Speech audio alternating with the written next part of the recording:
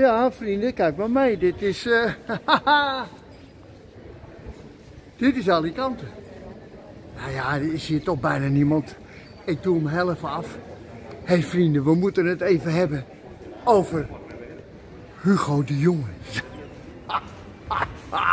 Wat is daar allemaal aan de hand met die man zeg? Die struikelt werkelijk van de ene blunder naar de ander. En ja, ik heb het eens eventjes nagekeken. Kijk, ik heb het even in mijn telefoon, heb ik dat allemaal, kijk maar, heb ik dat allemaal opgeschreven. Wat, wat er allemaal is. Te laat begonnen. Weten jullie het nog? Ja, 6 januari of 8 januari, toen begon Nederland pas met het vaccineren. Nou, daar hebben we het over. Het geblunder van de vaccinaties.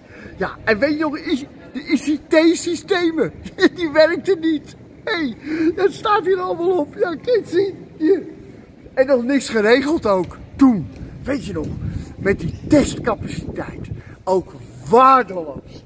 Dat is allemaal de Hugo de Jonge, maar het is ook eigenlijk het, dat hele kabinet. Het is maar een gestuntel. Nou, dat wil je niet weten gewoon. En, daar heeft, en daardoor wordt Nederland nu helemaal in de band gehouden van al die maatregelen.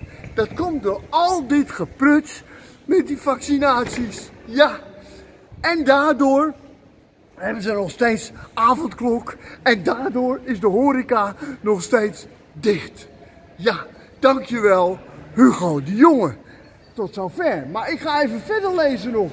Weet je nog dat er was een app voor bron- en contactonderzoek? Nou, dat was ook helemaal mislukt. Kan je het nog herinneren? Allemaal hetzelfde gepruts. Wat dacht je van geen naalden? Weet je dat nog? Toen hadden ze allemaal van die locaties geopend, hadden ze geen naalden. En ook te weinig mensen om te prikken. Kun je dat allemaal nog herinneren? Het is allemaal dat gestumper waar we mee te maken hebben in Nederland.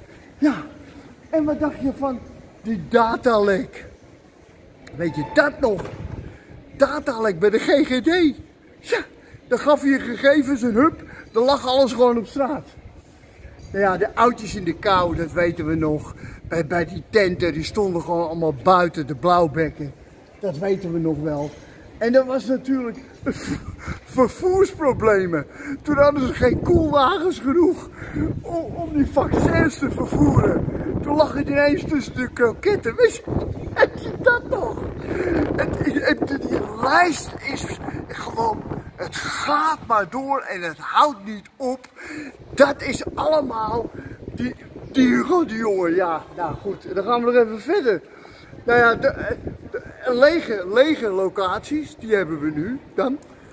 Hebben ze enorme locaties gebouwd. En er komt geen hond, want, dat lukt dus gewoon allemaal niet met die afspraken en weet ik veel. Nou, en, en afspraken maken is überhaupt niet te doen in Nederland, want dat lukt dus gewoon niet. Dus als je belt, dan zit je gewoon, eh, weet ik veel hoe lang aan de telefoon. En dan krijg je dus geen afspraak. Om een vaccinatie te krijgen, ja, dan krijg je die. Nou, dan hebben we nog, oh jongens, jongens. Het is, kijk, eigenlijk is het gewoon één grote chaos. Hè, want niemand weet wanneer en, en, en, en, en waar en hoe en hoe krijg ik die injectie. Dat weet allemaal niemand. Dus het is gewoon weer op dit moment. Want ze zouden er meer doen en toen werden het er weer minder. Eén grote puinhoop. Nou, Tjoh, jongen, jongen, ik ben helemaal doodmoe. Van, die enorme lijst van mislukkingen van die Hugo de Jonge. En dan heb ik hier nog staan experts die zeggen nu tegen elkaar. Die geven nu al de hele tijd aan aan Hugo de Jonge. Experts zeggen van nee, ga nou niet van groepje van groepje van groepje groepje prikken. Nee, prik nou gewoon iedereen die je maar ziet. Elke arm die je tegenkomt, poep, gooi die naald erin. Dat is wat de expert zegt. Die zegt, ga nou niet van 80, 70, 60, 50. Nee, prik nou raak en prik zoveel mogelijk als je kan. Dat zeggen experts. Maar dat doet Hugo de Jonge niet hoor. Ja, het is dus gewoon één grote klerenzooi.